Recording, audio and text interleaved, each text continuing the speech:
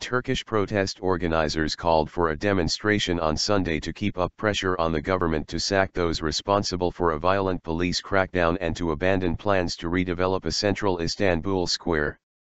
Tens of thousands of Turks massed in Taksim Square late on Saturday, where riot police backed by helicopters and armored vehicles first clashed with protesters a week ago, some chanting for Prime Minister Tayyip Erdogan to resign. Erdogan remained defiant. His AK party on Saturday ruled out early elections and senior party officials said they may call their own public meetings in Istanbul and Ankara next week. Still by far the country's most popular politician, Erdogan has pressed ahead with government business as usual. My beloved brothers, we're walking towards a better Turkey. Don't allow those who attempt to plant divisive seeds to do so, he told a crowd of supporters at the airport in the southern city of Adana, on his way to open a sporting event.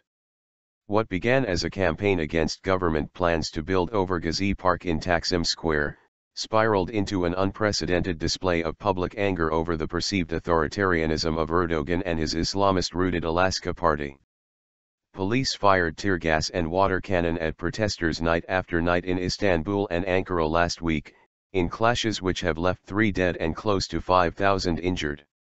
The organizers of the initial protests in Taksim, calling themselves Taksim Solidarity, repeated their call for the redevelopment plans to be abandoned, police use of tear gas to be banned, those responsible for police violence to be dismissed and bans on demonstrations to be lifted. The demands are obvious.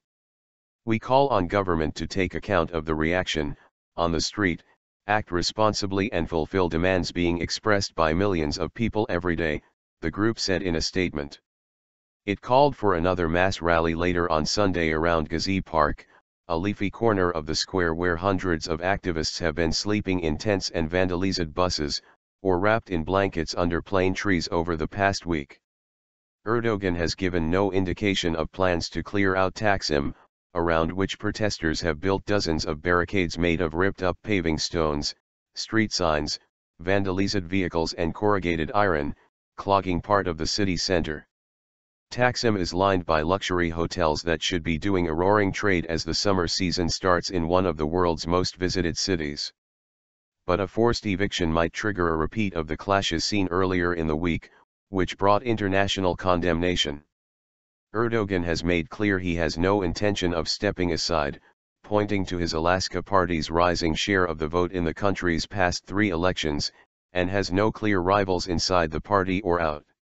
He has enacted many democratic reforms, taming a military that toppled four governments in four decades, starting entry talks with the European Union and forging peace talks with Kurdish rebels to end a three-decade-old war. But in recent years, critics say his style, always forceful and emotional, has become authoritarian. Media have come under pressure, opponents have been arrested over alleged coup plots, and moves such as restrictions on alcohol sales have unsettled secular middle-class Turks who are sensitive to any encroachment of religion on their daily lives.